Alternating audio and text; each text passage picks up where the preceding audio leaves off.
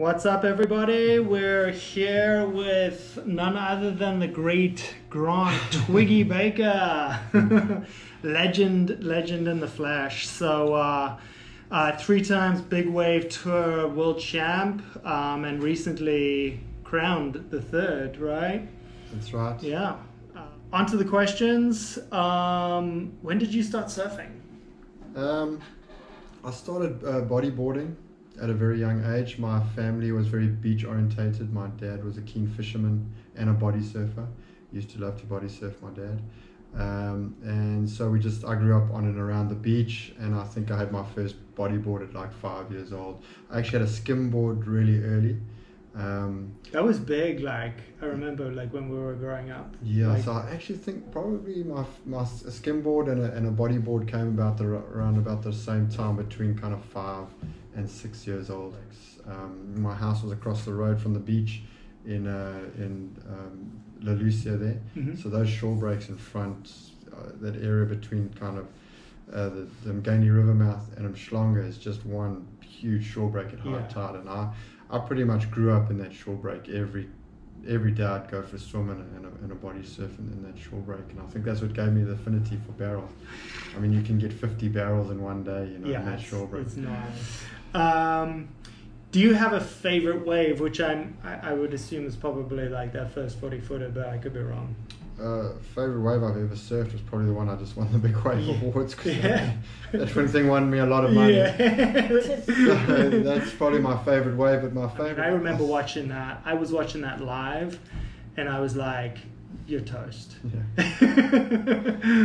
I think uh, a number of things. You know, the the, the size of the wave. I, I think they measured it at 61 feet. So straight away, you know, you're catching a 30 foot wave, a 60 foot face. That's that's that's huge to paddle into.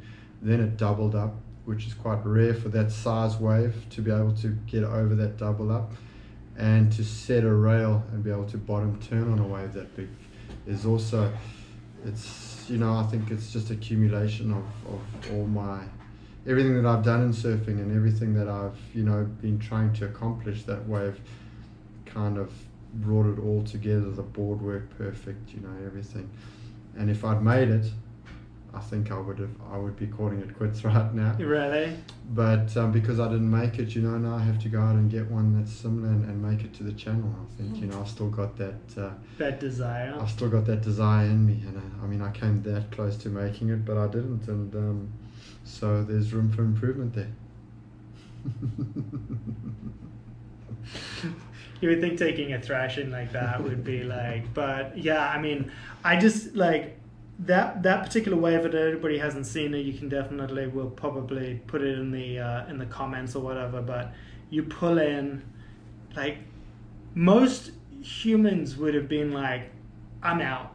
Like I'm just gonna go straight. Like see what happens. Like what? Ma- like Well, I- to go straight would have been, been worse, worse, like- because I would have gone out onto the flats, but I wouldn't have cleared the lip. So the lip would have landed on me. I had no choice but to set my rail and try to get under the lip and into the barrel. But uh, you know, I think the the reason I won ride of the year, even though I didn't complete the ride, was more to catch a wave that big is, is extremely difficult, and then to make that double up and then set the set the rail and get under the lip. Um, that's something that hasn't really been seen or done before in big wave surfing. So, no, uh, like it was. that, that that's the whole ride was about. Um, and then obviously a big barrel that I almost made, but uh, yeah.